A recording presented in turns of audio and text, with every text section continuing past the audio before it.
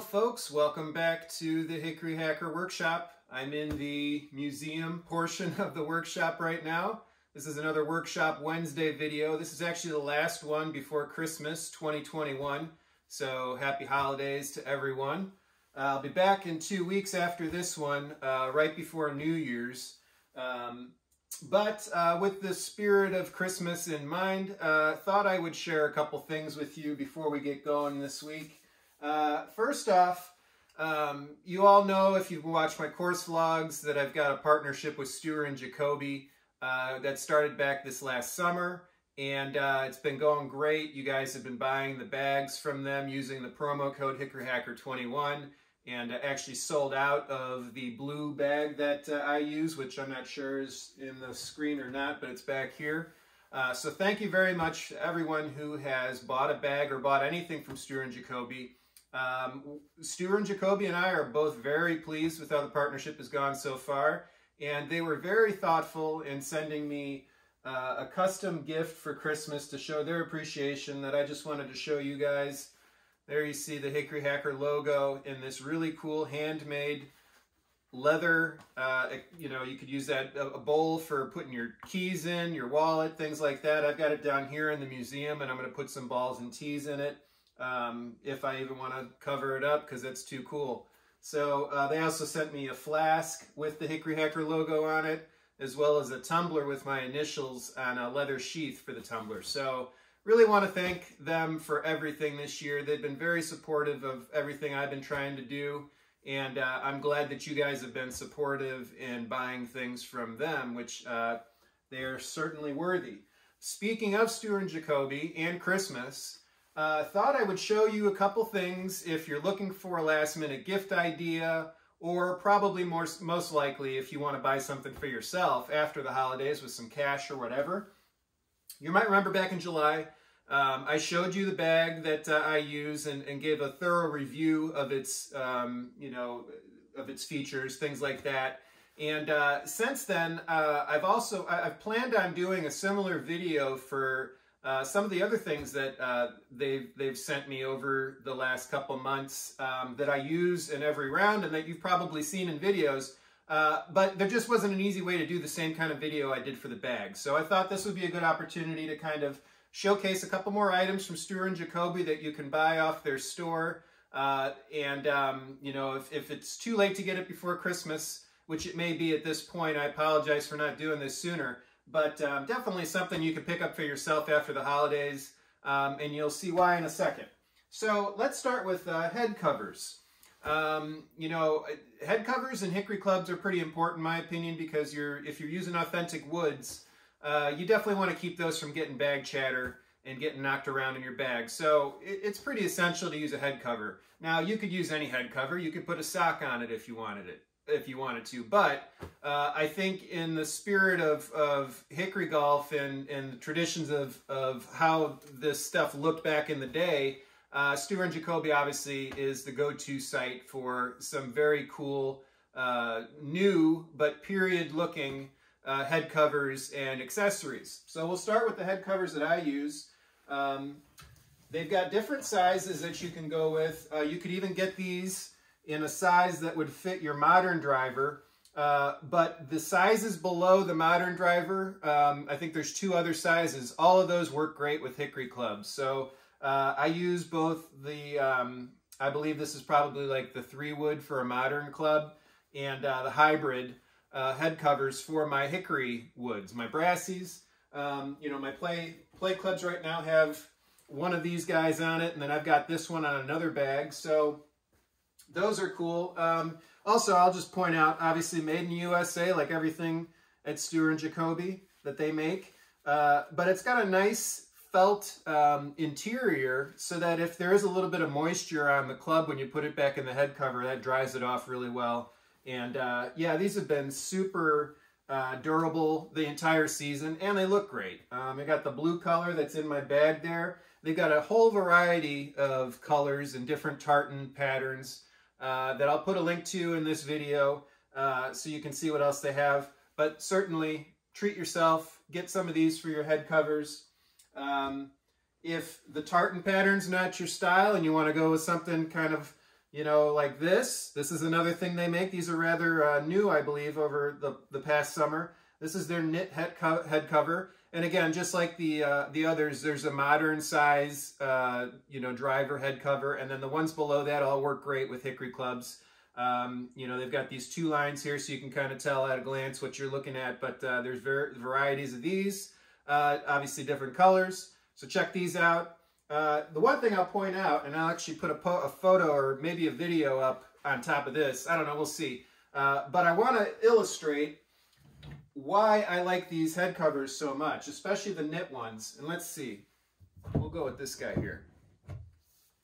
So the thing that I hated about the Amazon purchase of head covers, like knit head covers like these that I bought a while back, uh, was that the neck was too short. So when you put these from Steurer and Jacoby on your club, you see how far that neck reaches down the shaft. That means when you put this back in your bag, you don't have to worry about it sliding off as you're walking. I mean, there's a lot of extra room there to hold it on. And I think this is the key component as to why you should buy these guys. Not just that, because they look great, but because the neck is so much longer than the ones that I've picked up off of Amazon for cheap. Um, so yeah, that, there's not a whole lot more to say about head covers other than they do their job. They look great. And uh, this little additional extra material down here on, on the neck uh, is, you know, super uh, valuable for keeping the head cover from getting lost. So uh, definitely like these, pick these up if you can. Um, let's move on to, you know, the, the if you picked up the pencil bag, there's ample room in there for your keys, your wallet, you know, balls, all that stuff in the main pocket. But if you want to keep things a little more separated, they make a really cool accessory bag that I want to show you. The one that I have on mine is this really nice bison leather uh, accessory pouch. It's got a really good quality clip here. This has never come off my bag. Um, you know, it's, it's really tight there, so it's never going to come off. You just strap this on the primary brass ring that your uh, shoulder harness is clipped to. And uh, yeah, I mean, it's it's a high quality item like everything else at Steurer and Jacoby. Uh, good quality YKK zipper there. Uh, the interior's got some flair. You got a little bit of a tartan pattern going on there. That might be the, uh, uh I'm not even going to try to guess what tartan pattern that is. But, I mean, look at everything I have in here. It's COVID days, so I got an extra mask in there. I got some extra pencils, um, ball markers.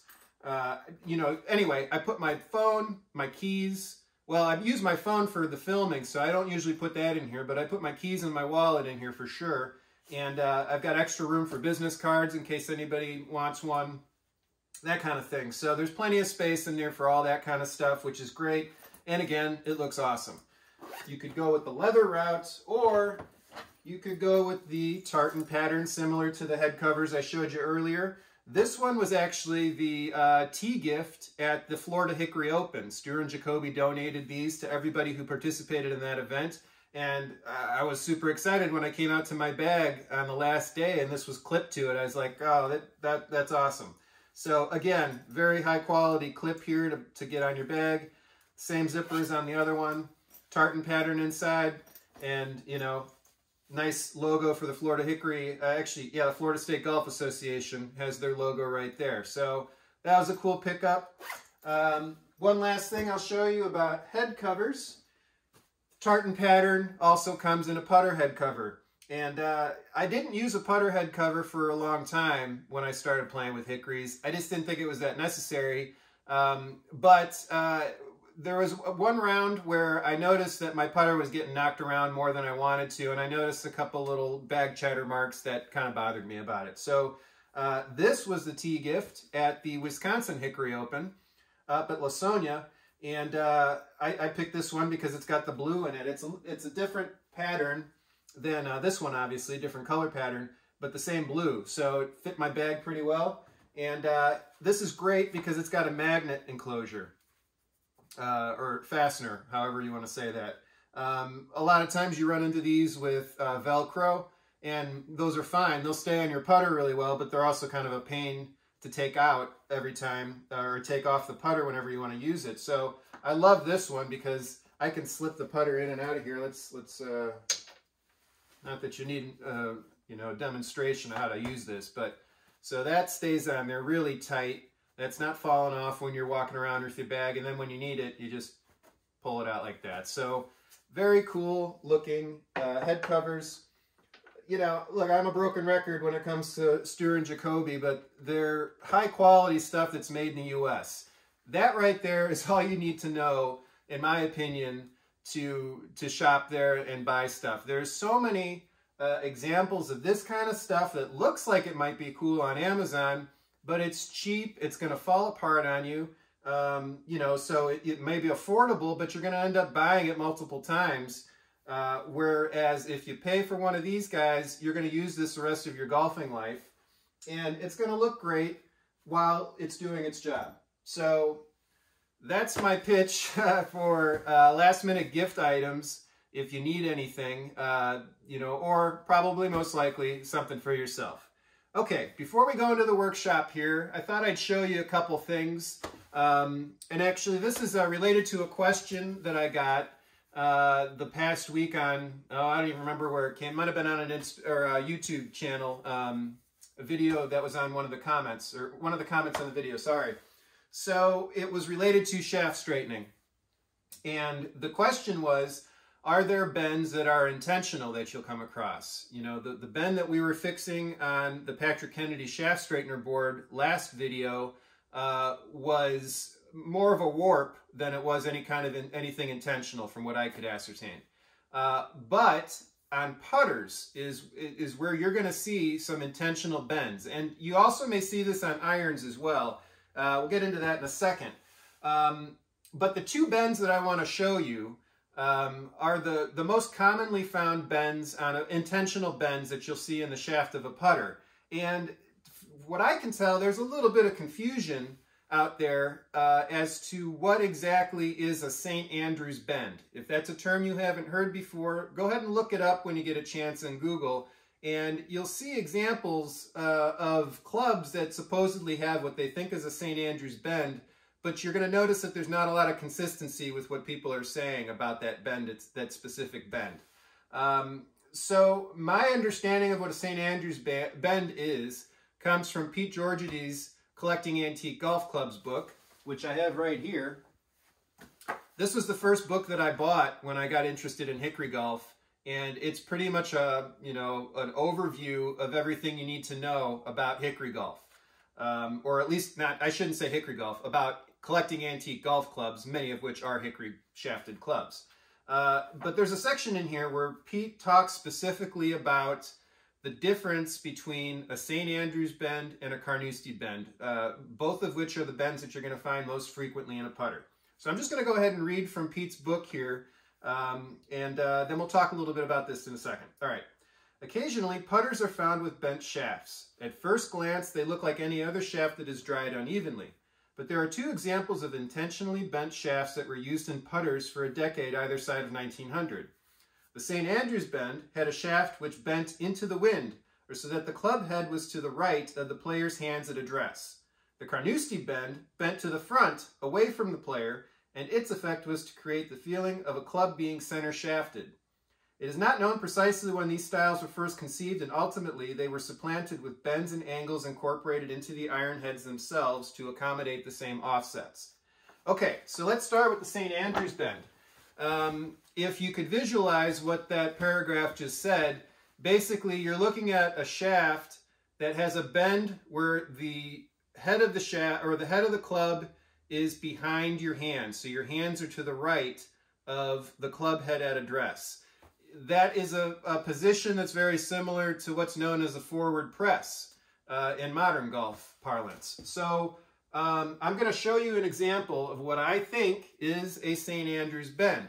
Now, the, the reason I say I think is because I think there are a couple ways that you could uh, uh, uh you basically uh, cause that, that bend so that the uh, head is behind your hands. This is, I think, the easiest way to do it. And I'll actually flash a photo up there in a second um, that'll demonstrate it. But this is a Huntley thumb groove putter. It's got this really interesting patented thumb groove. I think I've showed this club uh, before on my channel. Um, but the reason why I like this club is because it actually, I think, demonstrates the St. Andrews bend. I don't know if that's going to show up at all. In fact, let me get behind the camera so I can do this right. But if you notice, if my hands are at address, let's try to get the club head in a spot where you can see that clearly. You see how basically my hands are left of the club head, effectively, you know, producing a forward press at address. This is what I think Pete's talking about when he's when he's describing a St. Andrews bend.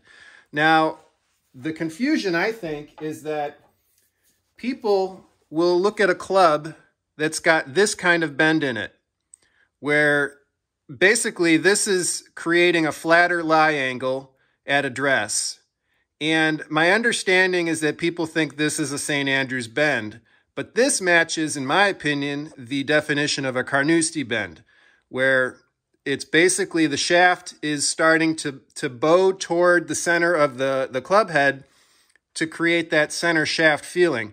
And I think in this instance, this club was probably bent this way to accommodate the lie, the preferred lie angle of the player. Um, so it, it starts to bend down this way right about here. So I'm not going to belabor this too much. I, you know, the thing is, I'm fine being wrong on things, you know, and, and I'll go out on a limb and say, this is what I think is, is going on, or this is what I think the situation is. Um, if somebody can show me something else that clears it up, that's really all I'm after. I just ran into this a lot when I was first collecting clubs where somebody would describe a St. Andrews bend and I would see different kinds of bends defined the same way. So it was, you know, interesting to me when I came across Pete's definition, which is the clearest definition I've seen so far of a St. Andrews bend. And then to back that up, I think I've found examples of clubs with that particular bend uh, matching that description. So if I'm wrong, let me know. Let's figure it out together.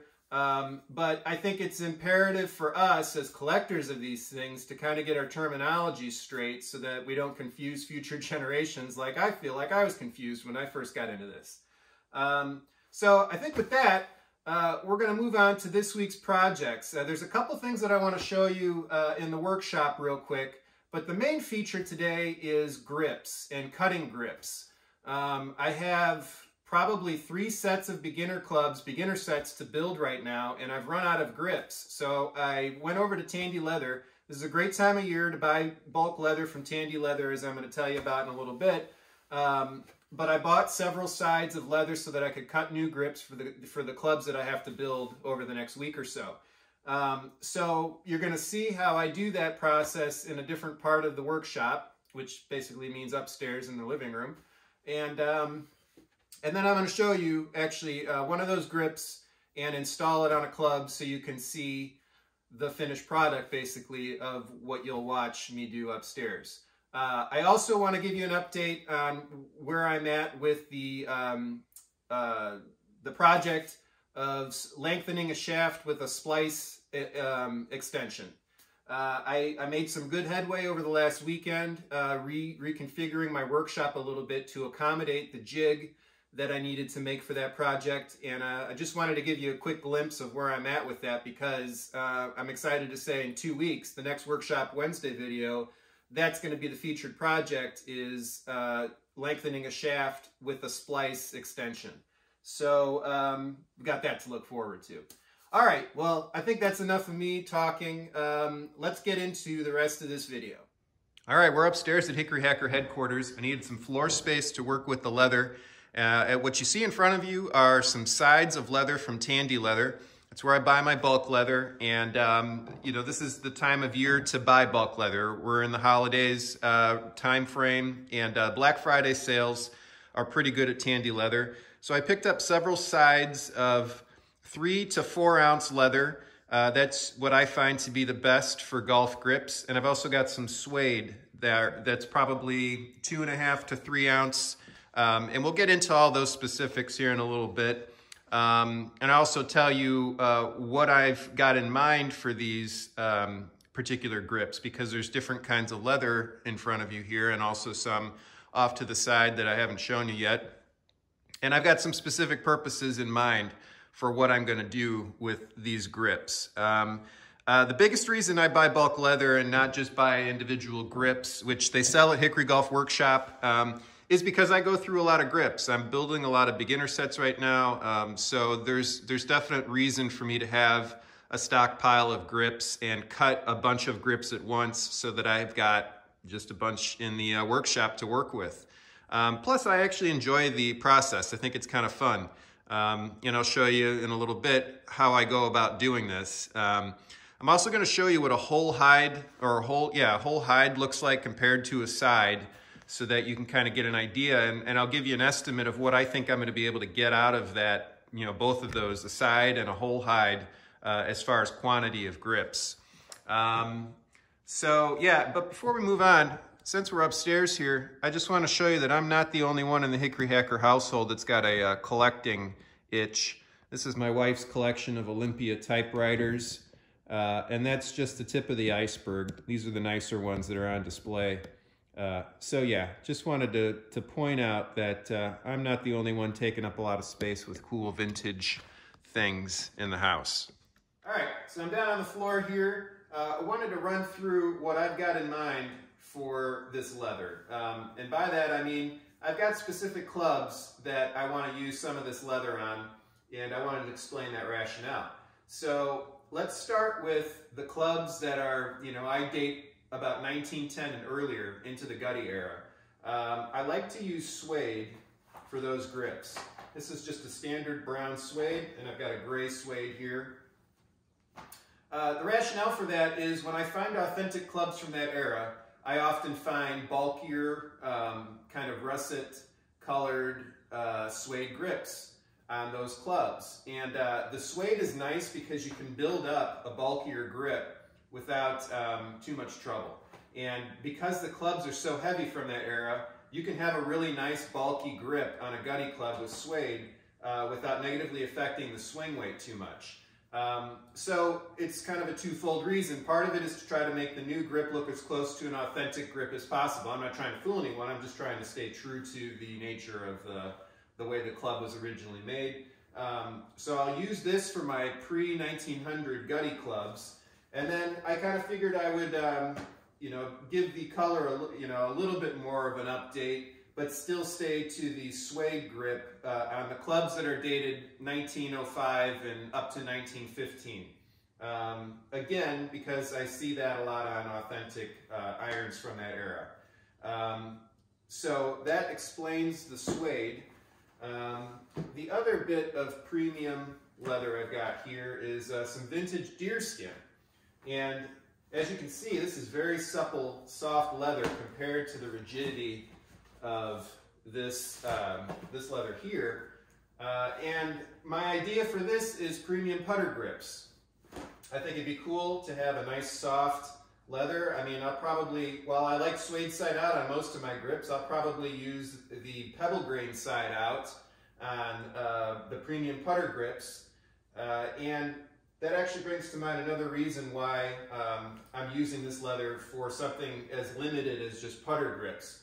Um, I could probably cut, oh, I'd say 15 to 20 grips out of this particular piece of vintage leather. Um, but when I compare the ease of cutting a grip out of this leather to something that's more rigid like this, this is a pain to cut that many grips out of. Um, you know, I'll eventually do that over time, but when I want to do a bunch of grips at once for a big project, like I've got a lot of beginner sets right now that I need grips for, this is much easier leather to work with and cut 40 grips out of at one sitting because of the rigidity. It doesn't slip on the board when I'm using the rotary cutter, and this will slip all over the place. So it's just gonna take more time to cut these grips. So I'm probably only gonna cut maybe five at a time, something like that. And because I'm using it for premium putter grips, I've only got a couple cut putters in mind right now that I need those kinds of grips for. So I'm not in much of a need of quantity out of these kinds of grips. And the suede is a similar story. I've only got a limited number of gutty clubs that I need grips for right now. And uh, I've got a set of 1908 to 1912 kind of transitional irons, um, smooth face and some early scoring patterns that uh, I'll use this particular leather for, but that's only like four or five clubs. So I only need to cut a few grips out of this, these softer, more uh, supple leathers today, which is nice because, like I said, when you're trying to cut quantity, you want to have a more rigid leather to work with uh, so that it doesn't slip around on board. So that takes us to these right here. Um, I've got five different colors here. This is a navy. I don't think that's going to show up too well on the camera because it looks black right now. But that's navy. We got the tan here. We've got the darker tan or brown. This is black and then obviously red. Um, this is all basically going to be for the post-1915 uh, hickory clubs that I build, um, the beginner sets. Uh, at a certain point, I'll have all these cut and I'll be able to give the customer uh, a choice of what they want, what color do they want. Uh, all of these are, they say they're all about three to three and a half ounces uh, in weight. I think they're actually less than that. Um, I would say that these are probably more like two and a half to three, which is ideal. Um, what I've found is that I like having a thinner grip on most of my post-1915 hickory clubs because the swing weights are very close uh, with the authentic grips to being, you know, in the high C's, uh, maybe just up to D0, but as, as, as soon as you take that vintage grip off and put one of these grips on, you're going to be adding weight. They're just heavier. That's just the way it is. So, you know, when you find grips online that are pre-cut, you'll often see that they're about three to three and a half ounces. Um, and that's a nice thick grip that a lot of players like. Um, but just be aware, when you're putting a grip or one of these new grips on a, a hickory club, it's going to negatively affect the swing weight. So if you have a club like a Niblick, for instance, that's going to be in the high Ds, you can get away with putting a thicker grip on it without negatively affecting the swing weight to a point where you noticeably can't feel the head anymore in the swing. Um, but uh, I've gotten used to using thinner grips on my clubs. Um, but when I was using modern clubs, I always had uh, mid-sized grips on them. And um, I just liked having a, a heftier feel in my hand and uh, I've gotten away with that with hickories because it's more important for me to be able to feel the head weight in my swing. And um, I can do that by, I can both accomplish that and also have a new grip if I use the lighter uh, ounce weight leather. Um, I think this kind of leather is primarily used for uh, upholstery and uh, maybe, you know, handbags, when you want a suppler kind of handbag, something like that. But this is the stuff that's usually the cheapest at Tandy Leather, so it's convenient from that perspective. Let's just roll one of these out so you can actually see the size. Um, I think I'm to do, I'll cut this one today. So we'll roll this out and you can kind of see what a side of leather looks like when you buy it. Uh, a couple things that are pretty obvious here. Even though you were quoted a square footage of leather, it's going to be oddly cut. So you've got this area here to navigate. Uh, you're going to have some blemishes and holes here and there to work around. So I've got a hole right here. But for the most part, I've got a pretty nice rectangular section of leather to work with right in here. And then you've got this extra that you can, you know, do other projects with. I'm going to have this whole area over here where I could probably cut something pretty large or make something pretty large out of this piece of leather over here. So um, let's talk about length. Generally speaking, I like to aim for my, my grips to be 36 inches. Um, most of the time, I can do that with a larger side of leather, but in this instance, I, as I'm eyeballing this, I'm seeing that 34 inches is probably going to be the ideal because I'll be able to get those, I'll be able to get 34 inch strips all the way down this section, avoiding that hole there, up to right about there. So that's a lot of grips. I'm estimating that'll probably yield 25, maybe 30, uh, probably about 25 grips, which isn't too bad. Okay, so as I started cutting strips, I discovered a shortcut that's going to make this go even faster that I wanted to point out. Um, at first, for whatever reason, I felt like these needed to be straight all the way across at the top, and they don't. They can go all the way to the live edge, because uh, all that's going to do is give me a longer strip than I originally intended, which isn't a problem at all. Um, again, the key is that they don't end up being shorter than 34 inches, but if they're longer than 34 inches, no big deal. So all I really need to do to end up cutting the rest of this side of leather is each time I want to make a new cut, uh, of course trusting that my previous cut was totally straight from top to bottom, I can trust that this is a straight edge and I just need to measure this up on the rotary mat to the one and a quarter inch mark up here and then carefully make a mark at the bottom of the strip at one inch. Again, not too concerned about if this is a, you know, a, a nice straight angled bottom, because I can cut that off too. In fact, I will cut that off. It probably won't even get used on the club itself because it's longer than I need.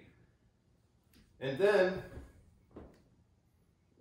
the other trick is if you put, put enough pressure on the rotary cutter and also the ruler at the same time, you don't need to rock back and forth, which is where you start to, uh, you could make a mistake. Um, if you press hard enough the first pass, it'll go through. And as long as you make sure the rotary cutter is both flush against the straight edge and straight above the cut you're trying to make instead of coming in at an angle, everything should go just fine on one pass. And there you go. That's a clean cut all the way through. And I'm going to use scissors to just cut it from the main piece of leather. And there we go, there's another grip. Okay, so just wanted to point out a mistake because you're going to run into them when you're doing this for the first time and after several times, like my situation. Um, I was being a little bit too quick with the rotary cutter, and I ended up cutting into the strip that I was trying to, um, that would be end up being the next strip. So that's disappointing because what I have to do right now is kind of start a new straight line because if I just cut this part off, then I might get myself all out of whack down the line. So I'm just gonna go ahead and basically write off this part of the leather and start a new strip. But this is just uh, an illustration of why it's important to take your time with this, even if you find a, a pretty efficient way to, um, to cut these. You know, it, it can be somewhat tedious, but uh, put some music on, just take your time, enjoy it. Um, you know, it's a pretty good feeling when you use this right and you get a really nice clean cut the first time and you look at the grip afterward and everything's really nice and crisp. Uh, it's worth taking your time on. Okay, so it's been about an hour and a half of cutting and this is what I've got left. And uh, I think this is a good stopping point because um, I've got some other ideas for a piece of leather this size. Uh, but you'll remember I was aiming to get 25 grips out of this side of leather.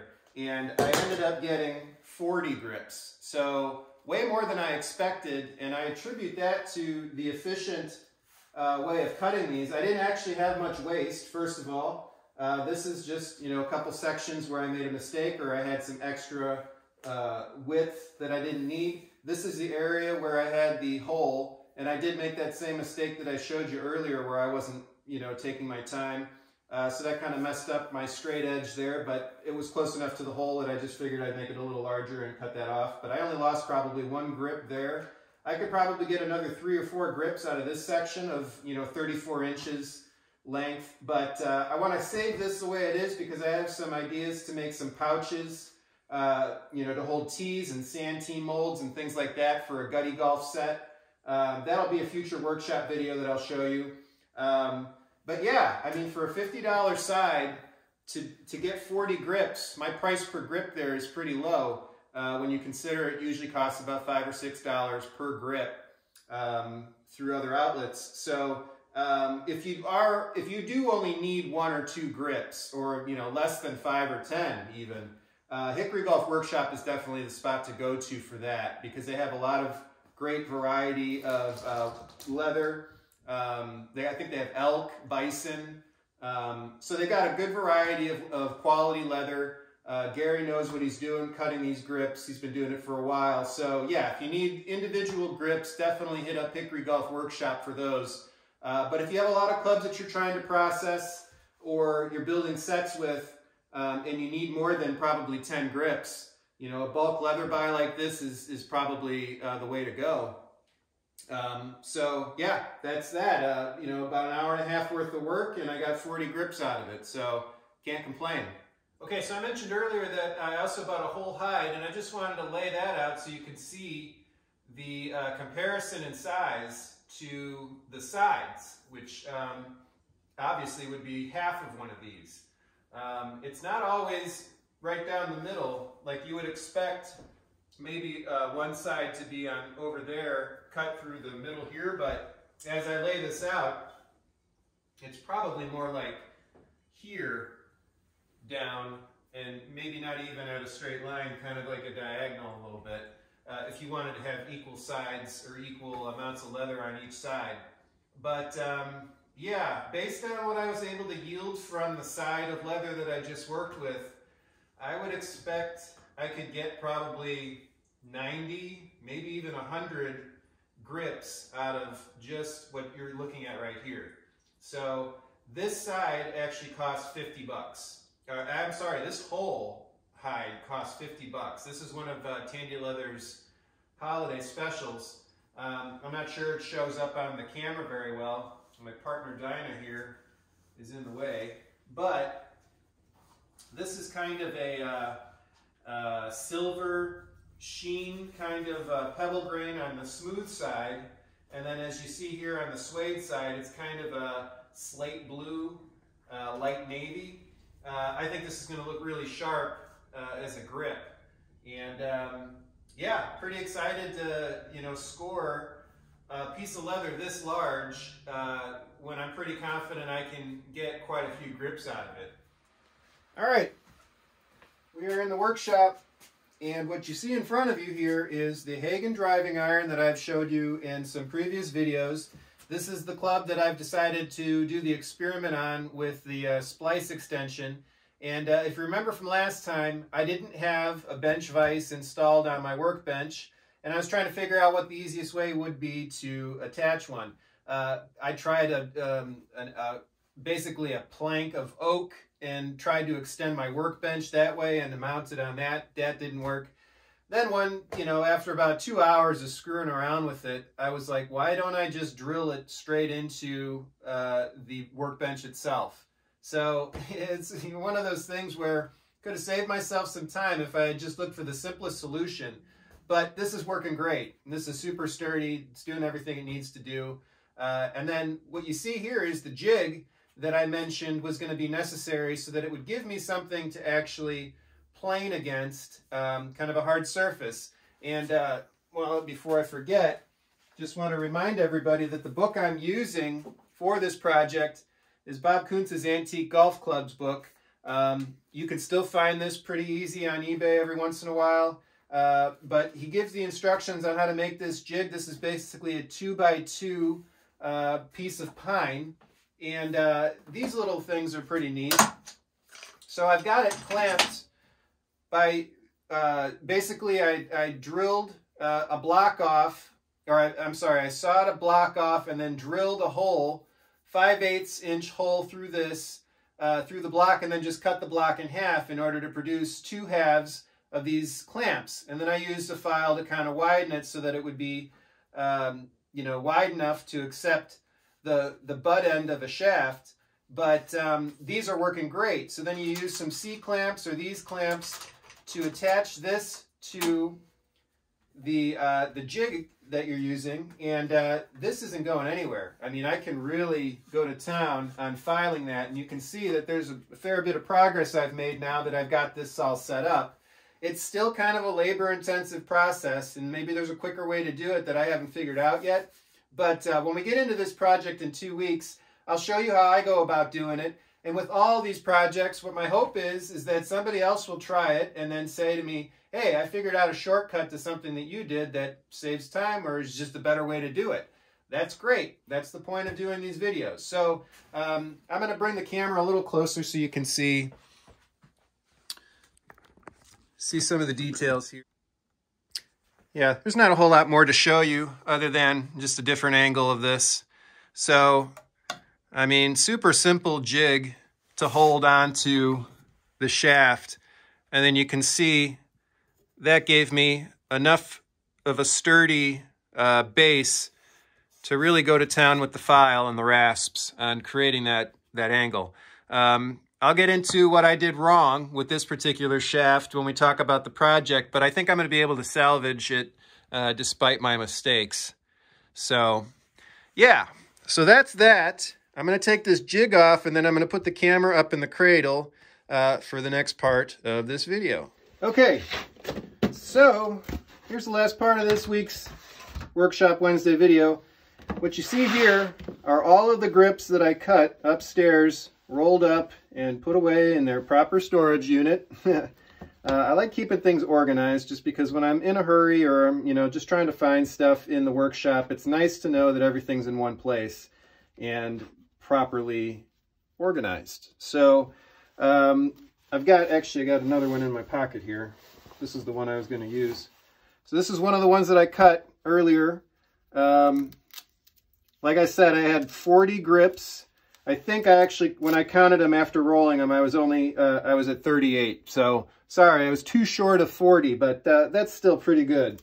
Um, I actually had a 39th one, but it was kind of, you know, weird at the bottom, uh, weird cut, so I didn't include that as part of it. But um, anyway, I thought I would install this grip onto a golf club that I uh, am getting ready for my store, which I haven't mentioned yet in this video, but uh, I've made a lot of progress on the online store. And uh, right now seem to be on target to have it ready for uh, launch in early January.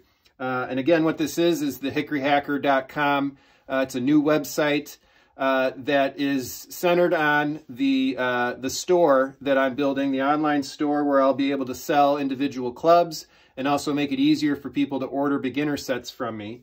Um, but anyway, I uh, needed a lot of extra grips here for the clubs that I'm putting in that store and will plan on selling, and I'm plan that I'm planning on selling. So uh, I'm going to grab one of those clubs here in a second, and let's put this grip on. Okay, so this is the club that I'm going to put the grip on. This is a, a pretty interesting club, actually, um, and you'll be able to find this in my online store uh, in probably middle of January. But this is a Gibson-made Smith model anti-shank mid-iron. Uh, these are uh, interesting clubs to say the least. Um, I used this in the course vlog of East Hartford Golf Course that's called uh, Banned and Patented Clubs. Um, if you watch that course vlog, I used this a couple times and I didn't have great luck with it, except for the very first swing I used with it, um, if I remember right.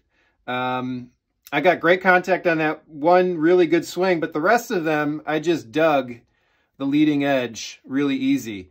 Um, I think I could get more comfortable with this club if I used it more often, but um, it, it's really not for me. It doesn't really fit into any of my play sets very well. Um, Spec-wise, it's pretty good, though. 24 degrees and D0 swing weight when it's got a grip installed. And, um, yeah, we'll actually, we'll check that in a second here to see how this new grip affects the swing weight.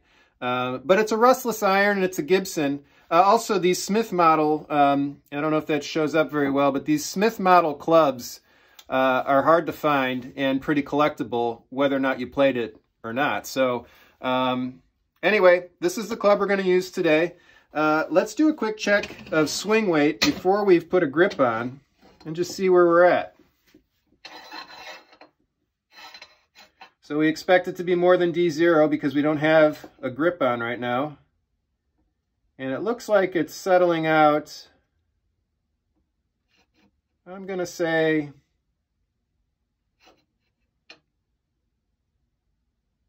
we're going to go with D3. It's pretty close to D3. As you can see here, The taper is pretty apparent. We've got about an inch and a quarter up here, tapering down to one inch down here. I want this to be a suede side out grip. So I want this to be the, the playing side, uh, which means that this first cut is going to be on the pebble grain side. This is the side that's going to be, you know, tacked down to the club. And you want to do this angled cut, usually about four inches, but this is so that you can start winding it around the club easily. And I just make this try to make it as straight as possible. Uh, leave a little bit of room at the top there so you can have some space for the tack.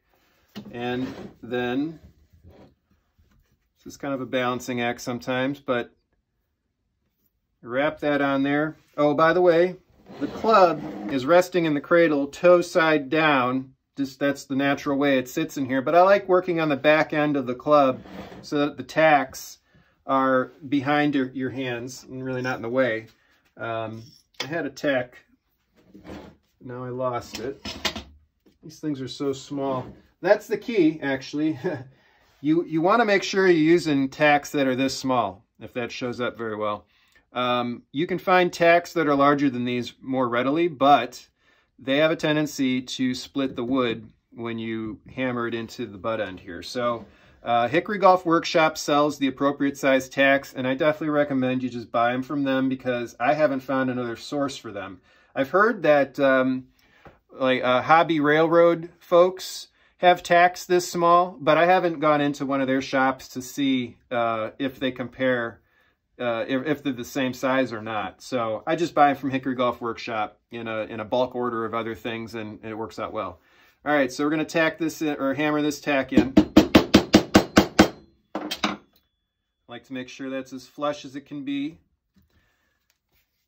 Now, you'll notice that your angled cut here is going to allow the shaft or the, the grip to wrap nicely around the shaft.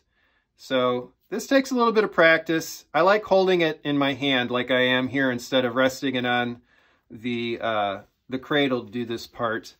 And you can be as particular with this as you want. I don't mind having a little bit of a rib section between sec you know between wraps, but some people like this to be as flush as it can be so that there is no rib whatsoever.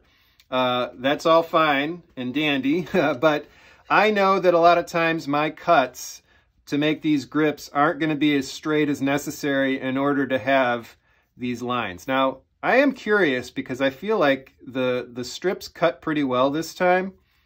And I'm just curious if this is close to being straight. It's close, but it's still, you know, there's still, you'd have to overlap this in order to cover up the friction tape in certain areas. So basically, I'm just going to kind of leave a little bit of a rib, but I'm going to get as close to the line of each wrap as possible so that, you know, those, those ribs are minimal. And I'm stretching this as I go as well. So again, this may not look as pleasing to your eye as a completely straight, no no rib um, wrap. This is as good as I can do it. You know, this is the best I can do. But I've also learned that I kind of like this because if I wanted to choke up on playing this club, I kind of use these ribs as guides. And, um, you know, they don't bother me. Um, you know, maybe they'll bother you, but um, they haven't bothered me yet. And uh, I can get along with this just fine the way it is. So uh, this is the way that I wrap them. Trying to keep this as tight as possible. You saw here is the end of the friction tape. And this is where we're gonna basically cut this grip off. So I got some leather scissors here. I'm gonna find that edge of the friction tape and I'm gonna make a cut this stops spinning. I don't know why it's spinning. Must be resting on something weird. All right, so I made that little cut there and I'm just gonna make this straight across at this point, creating another little flag basically that'll be tacked into the shaft.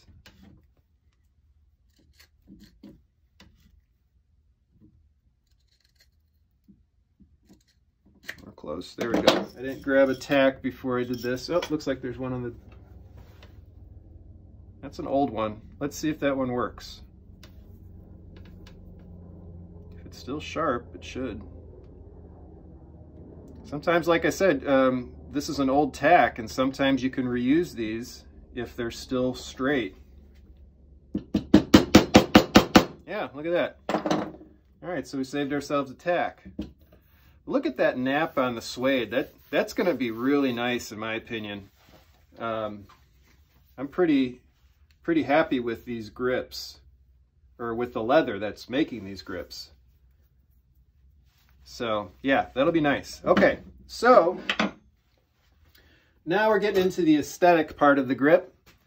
I like using a knife and what I'll do is basically just cut at an angle into the bottom of the leather here. I'm going to work all the way around the club. And what I'm doing here is trying to create a taper for the winding to climb up so that it isn't an abrupt kind of, um, you know, situation where the, the whipping is, is, you know what I'm saying, where the, I want to have a nice taper for the whipping to climb up the grip. I'm going to try to clean this up as much as I can. This is the first time I've used this leather, so um, I like the nap on it, but it, it is a little bit uh, messier here on the bottom. It doesn't cut as clean as I'd like. Or my knife's not as sharp as it needs to be. That's quite possible. So I'm going to try to make this as clean as I can so that there isn't any of these little tufts of suede popping through the whipping.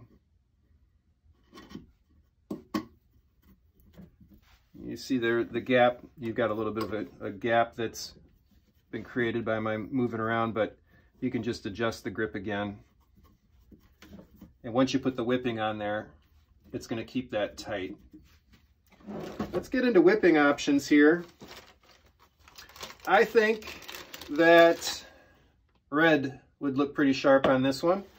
Uh, those of you who have bought clubs from me in the past uh, know that I like to use red grips and um, black thread, black whipping thread.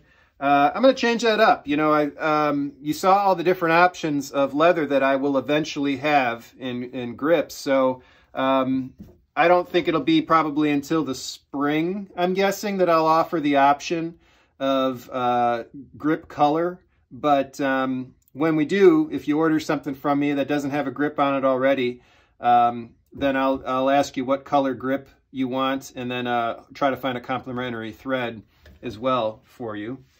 Um, let's put this on the whipping stand.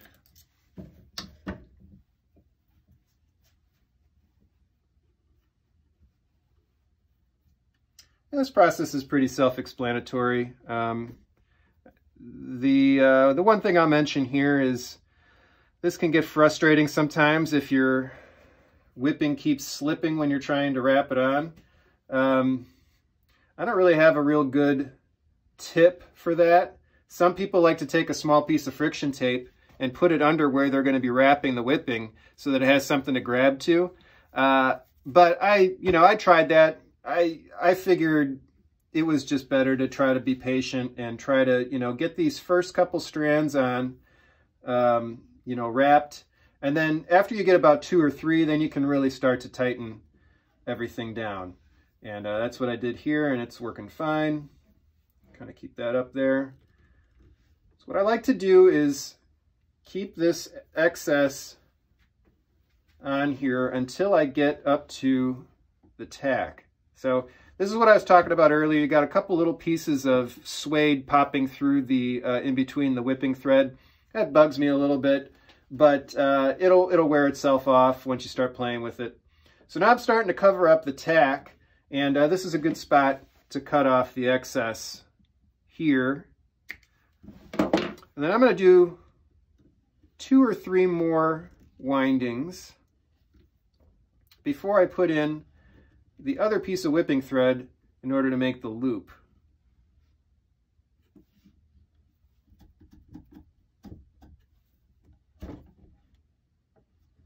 I'm taking careful, uh, or I'm taking my time in this area because I want to make sure that the whipping thread secures this part of the grip that was kind of popping loose earlier. All right, so that's a good spot to do the loop. I used to have a thread puller that again I got from Hickory Golf Workshop, but I broke it. So uh, this is the old way to do it. This is a thicker piece of, of waxed thread. I've got a whole spool of this here. Um, I've used this on some gutty clubs because it's not too far off the gauge of the whipping thread that I use for my gutty clubs. A lot thicker than the whipping I use on other hickories. But uh, yeah, I'll cut a, a piece of this off and that's all you got. Just that and you make a loop and put it under there and then I'll give this probably another five or six windings. Making sure I'm tight, trying to stay close to the previous wrap. And uh, we'll do one more here. That's pretty good. You want to be careful not to do too many lines before you try to pull it back through because if you've done this really tight, that's not gonna it, it's not gonna come through very easy. Um, all right, so now we want to cut off the main from the main spool. You got this little bit here. You're going to feed that through the loop. You're going to make sure that this part's tight without screwing up the rest of your grip here. And then you just use two fingers here to pull this through, or third finger if you have to. There you go. And then you got that part there that you just cut off, and that's that. Um, one last piece of whip, whoops, one last piece of uh, whipping here is necessary at the end of the grip. This kind of serves the same purpose as down here where it just keeps everything from getting loose. But honestly, if you put that tack on there right, you don't have to worry about this coming undone. Mostly this is an aesthetic thing on this end, I think. And I'm only going to do, well, first I'm going to make sure I'm not running this into anything else. Okay. Um, I'm just going to do probably three windings with this before I cut the excess. Come on. All right, there we go. Get my loop and I'm going to put this on here right away and just do another three windings before I pull it back through.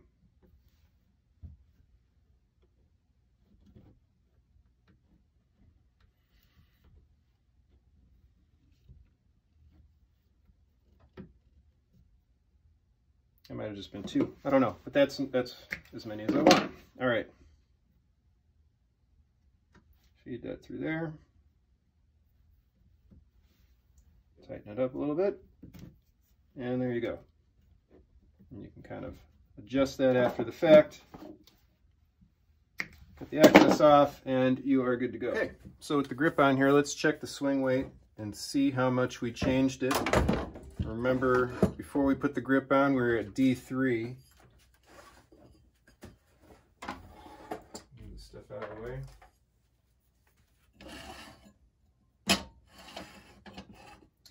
So we're at D3. We're not there anymore. We're about right on D0. So didn't really change much at all from the grip that was on there before, uh, but um, that should work. That'll do it for this Workshop Wednesday. Hope you got something out of it. Uh, I'm really enjoying putting these together. I appreciate the feedback everybody's been giving me on them. Um, and uh, as always, encourage you to ask more questions so that I have more to talk about. Uh, put it in the comments below. Send me an email. Find me on Instagram at Hickory Hacker. Um, and uh, yeah, just let's keep the conversation going. I'm hoping the live stream will be able to work again uh, after the new year sometime. I've got some plans for boosting the Wi-Fi down here, but I haven't done that yet. And I'm going to just keep doing them this way because I think it's working pretty well. Um, but yeah, I want to wish everyone a happy holidays. And uh, if, if, you're looking for a last minute gift idea, definitely check out steurerjacoby.com. Use promo code HickoryHacker21 for 10% off your purchase. And uh, we'll see you in a couple weeks. Thanks. Bye.